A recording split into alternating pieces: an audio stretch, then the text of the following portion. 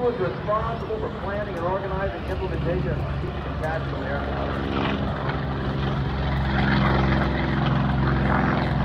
He was a skilled pilot, pilot of the P-46 and the P-47, and he was a wingman for Benny O. Davis, who would later go to become the first flight general of the United States Air Force.